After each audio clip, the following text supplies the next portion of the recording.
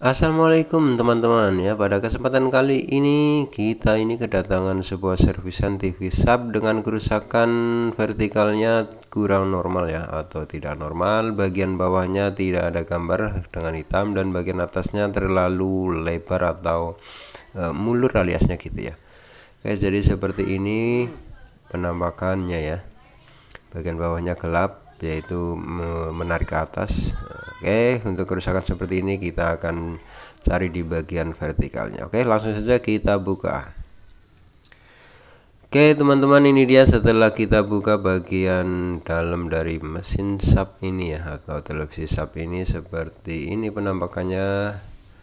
Eh, kita seperti biasa kita lihat-lihat dulu di bagian eh, fisiknya dari komponen-komponennya apakah ada yang eh, cacat seperti itu ya jika e, dirasa masih bagus kita lihat bagian solderan untuk area IC vertikalnya.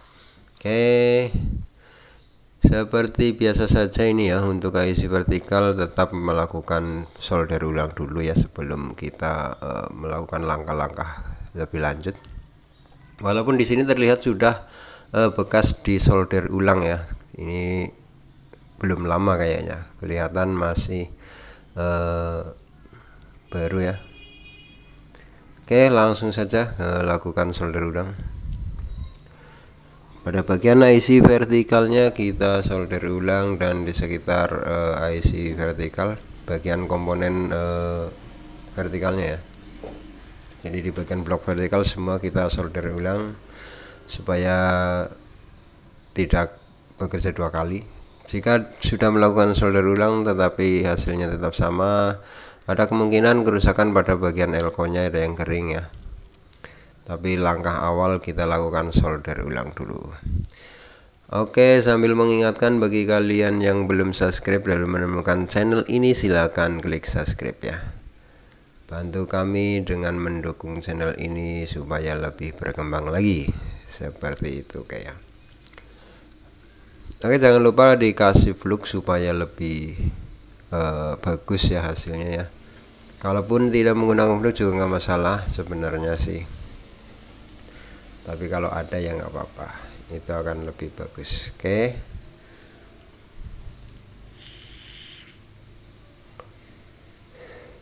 Jika menurut video eh, menurut kalian video ini bermanfaat, silakan like ya. Dan share ke teman-teman kalian lewat sosial media kalian seperti itu ya. Oke kebetulan di sini lagi hujan nih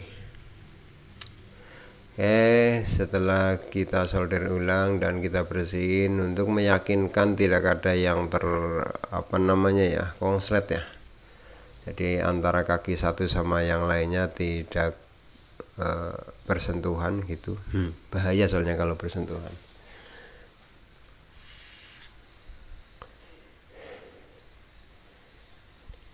Oke, sebisa mungkin diperhatikan dengan baik ya, supaya tidak ada yang short antara kaki satu dengan yang lainnya, karena akan menyebabkan TV atau IC bisa mati total atau pecah seperti itu.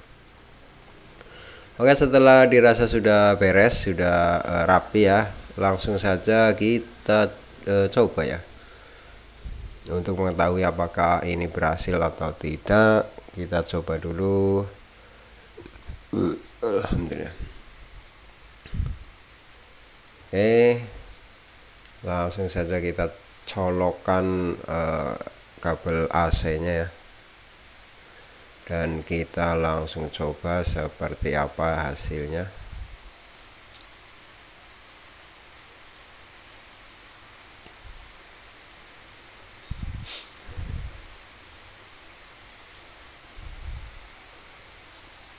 Oke langsung saja kita coba. Dan ini dia hasilnya. Wow.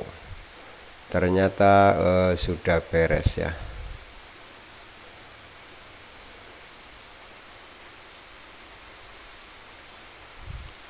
Ya Alhamdulillah sudah jadi jadi uh, memang benar ini bukan karena kerusakan komponen tapi karena hanya solderannya saja yang kendor ya. Tapi walaupun terlihat masih apa namanya masih kuat itu bisa saja solderan kendor tapi tidak terlihat seperti itu Oke terima kasih yang sudah menonton. Jangan lupa like komen dan share untuk eh, video-video berikutnya. Silahkan klik subscribe. Oke terima kasih. Wassalamualaikum warahmatullahi wabarakatuh